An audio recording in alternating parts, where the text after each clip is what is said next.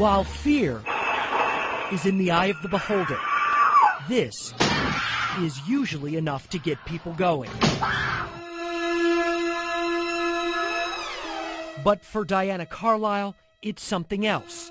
Something down and dirty inside her Euclid home. It looked like um, a, a it looked like ghosts having sex in my living room.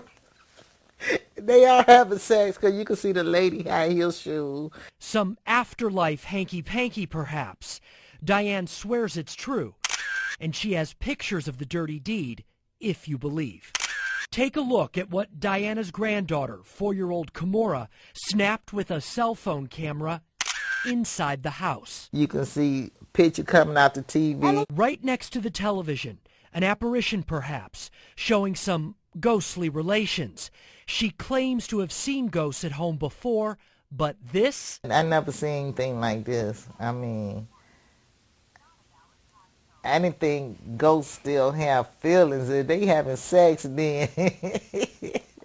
now, Diane can only laugh about the post-mortem lovemaking in the house, but her daughter's a little more freaked out about the time she saw a little girl. I'm not playing with no ghosts. Like, it was just standing there watching me. It wasn't even doing it. It was just standing there, like, standing.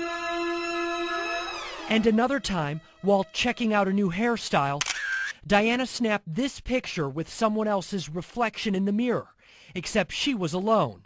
And then there was this. Message saved. Next message. Diana believes it's a new voicemail message from her deceased sister. And I love you from beyond? Diana says it's true. Scary perhaps, but so far, all of her visitors have been kind. I think so, but I hope they don't want to take me with them either. she just has one request.